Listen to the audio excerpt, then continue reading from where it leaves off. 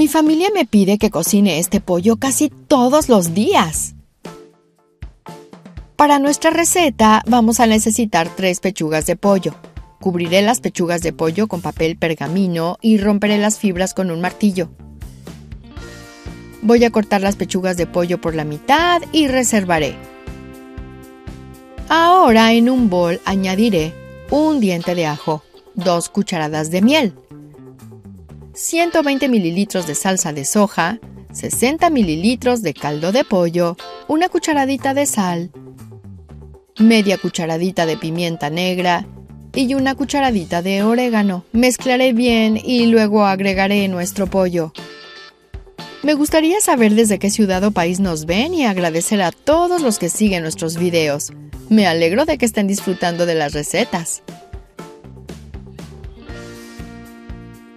Cubriré nuestro tazón con una envoltura de plástico y lo dejaré marinar en la salsa durante 30 minutos.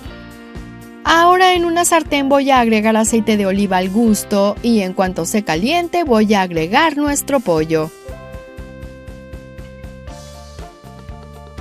Voy a freír el pollo durante 7 minutos por cada lado o hasta que se dore por ambos lados.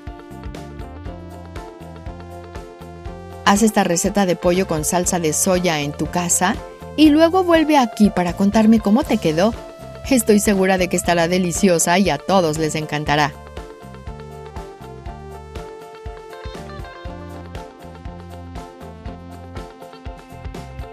En otra sartén agregaré nuestra salsa y mezclaremos hasta que el líquido se reduzca a la mitad y se vuelva más espeso.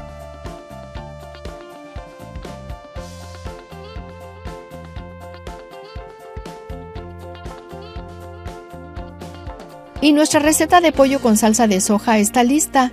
Mira lo deliciosa que está. Ahora solo agrega la salsa sobre el pollo y disfruta. Espero que te haya gustado esta receta. Muchas gracias por ver este video hasta ahora. Nos vemos en el próximo video. Adiós.